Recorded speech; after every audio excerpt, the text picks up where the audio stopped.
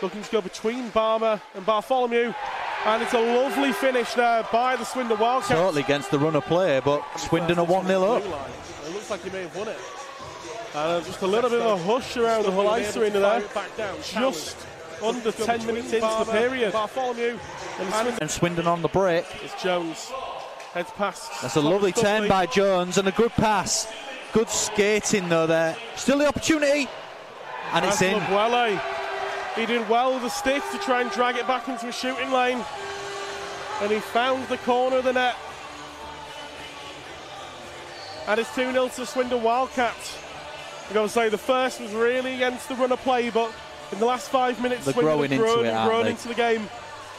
Used his body well time. there. Lovely bit of skill. Glenn Billing, though, not giving him an inch of space and will take the puck off him for a moment. Good Five pass. Bobby Chamberlain. It's gone in, surely. What? And have given the goal. by the looks Yes. of it. Even the net came off. I was getting a bit confused. I thought it'd go, but the net was off. He was taken off by Good a pass. Man.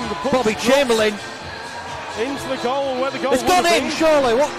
and have given the goal four on the clock. And Hull keep making a habit of this. This at Sheffield last week. Right, we've got a great opportunity here. Bottom of the back. Well, it's in! It's in! What a finish! Just what you said, that's what we needed. Needs great quick break. Lovely. Right, we've got a great And the Seahawks opportunity here. back in it. Lee Bonner gets a Well, it's in! It's in! What a finish! Sims was looking for that. He was eyeing up that gap.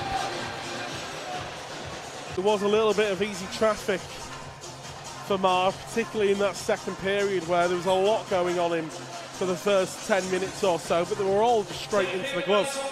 The difficulty is with McLaughlin is the, the fewer shots you face, the easier it is to switch off. Yeah. He's behind him. I'm leaving this one to you, pal. Yes, Fire away. Fisher making the opportunity where where really hard work and then Svec just fires it home.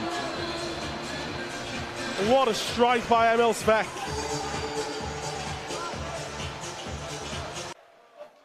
No, we're quite happy with everything in the ball. Kill the there. time if they can. They prefer to get the puck down the other end and score the empty netter, but whilst it's tied up, it's not a danger yet. And now it's out. It's Bebris. Finds it to his right, and it's in. And through the traffic, the Swindon Wildcats with 1.13 on the clock. Tie this one up at three apiece. And then sudden death. Ulrich with holes first. Mar out of his crease. Ulrich looked to pull left and use the back. Labuelo heads down the ice. McLaughlin went out of his crease, backing up. Does well. Gets the pads outstretched for a player.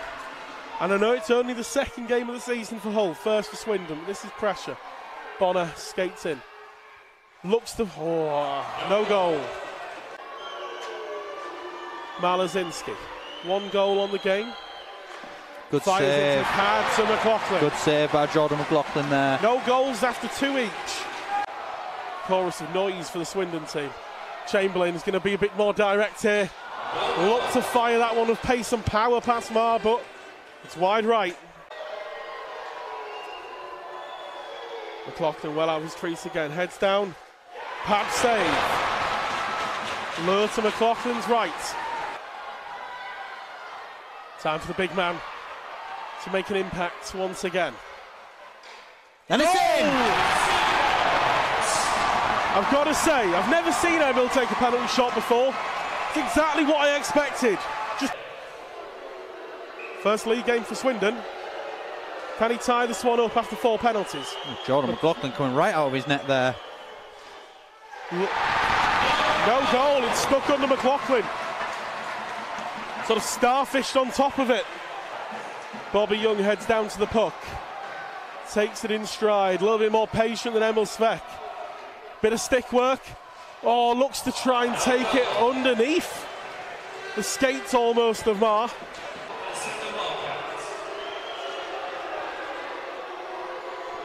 Swindon, I believe it's Colby Tower.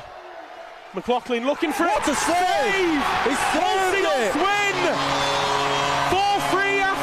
penalty shots. And the whole Racket Seahawks complete a four point weekend to open up the NIHL National Division.